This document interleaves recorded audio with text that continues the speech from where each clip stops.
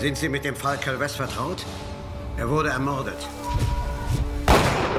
Ja, dessen bin ich mir bewusst. Wir glauben, dass Ihre Mitwirkung bei den Ermittlungen äußerst hilfreich wäre. Es gibt einen toten Polizisten, keine Spuren und Sie stehen auf dem Schlauch.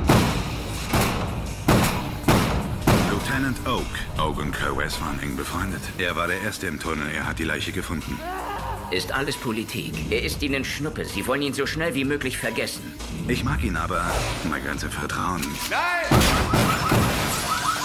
Er ist labil.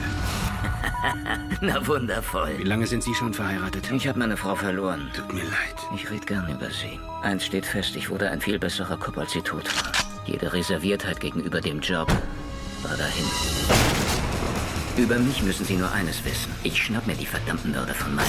Polizei! Und wenn ich dabei alle Dienstvorschriften verletze, ist mir das egal. Regels und Kanonen. Ich bin von den Socken, dass du so dumm bist. Hat sich seine Stimmung verändert in den Wochen zuvor? Fanden Sie, er benimmt sich irgendwie ungewöhnlich? Warum haben Sie sie verhört? Sie Ihre Finger Aussage steht in den Akten. Ich sehe dich an und verstehe dich nicht mehr.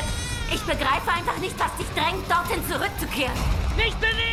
Das ist ein Polizeirevolver. Er hat einem ermordeten Kollegen gehört. Wie kommt ihr an diese Waffe? Sie haben die Knarre da reingelegt. Ich hab was? Wer hat sie da reingelegt? Wer hat sie da reingelegt? Bedeutet, dass dein verschreiter Partner Oak ein Scheißkerl ist, Mann. Wir konnten Sie nicht schnappen. Sie sind noch frei.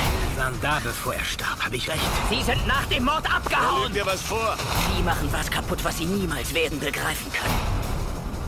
Er hat mir eine Menge bedeutet. Bezweifeln Sie nicht seine Integrität.